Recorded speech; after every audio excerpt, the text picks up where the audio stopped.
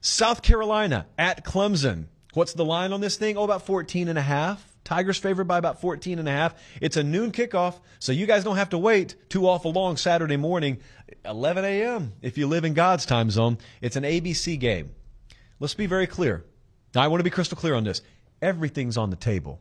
Like I had a bunch of Gamecock fans sheepishly coming at me in the DMs. Hey, Josh, don't tell anyone I asked this. Can South Carolina win? Yeah, they can win. Did you watch the Tennessee game? Last? Yeah, they can win. Did you watch Clemson and Notre Dame? Yeah, they can win. Now, how do they win? Do I expect them to win? Am I betting them to win? South Carolina has not won at Clemson since 2012. A guy by the name of Steve Spurrier was still the head coach there. The Aggies of A&M were just coming into the SEC. So yeah, it's been a while. But South Carolina, I would argue, has rarely been in a better position to pull this thing off since then. South Carolina's offense just utterly exploded there is there's no rhyme or reason. There's no explanation for it. They just exploded against Tennessee last week. Now, what we have to try and figure out, and it's an unenviable position to be in, what we have to try and figure out is was that a one-time deal? Eh, like, did Tennessee just just drop the ball that fantastically defensively, or did South Carolina figure something out? Because certainly, like if you go back and you look at breakdowns and you watch South Carolina, they did things differently. It wasn't even October either. We're well into November. So stands to reason we pretty much knew what they were, and then they broke that out on us last week. And I'm not going to play the sound right now. I'm going to reference something we're going to play later in the show.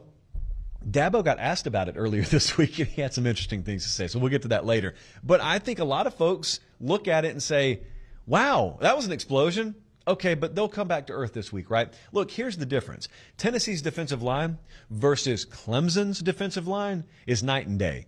So I'm, I'm not saying that they get stoned this week or anything like that. I'm just saying it is a different chore to try and move your way up and down the field against Clemson's defensive front.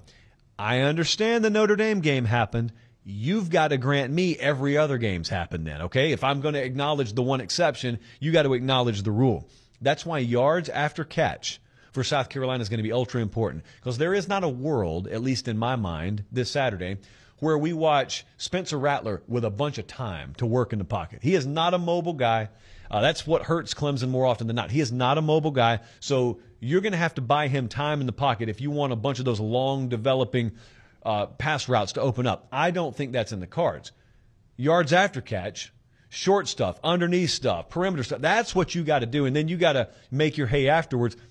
That's how they got to rack that up if they're going to rack that up.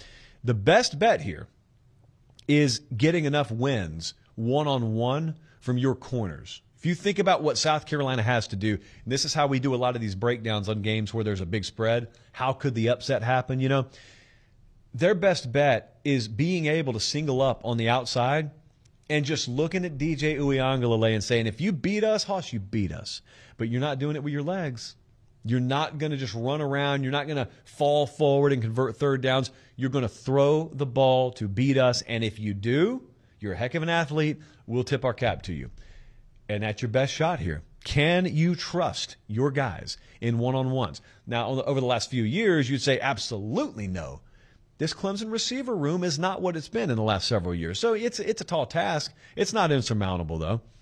Uh, if DJ's arm beats you, though, Eh, that's okay. Okay. You're, you're, a, you're a two touchdown dog for a reason. But make that be the way you get beat. It's an early kick.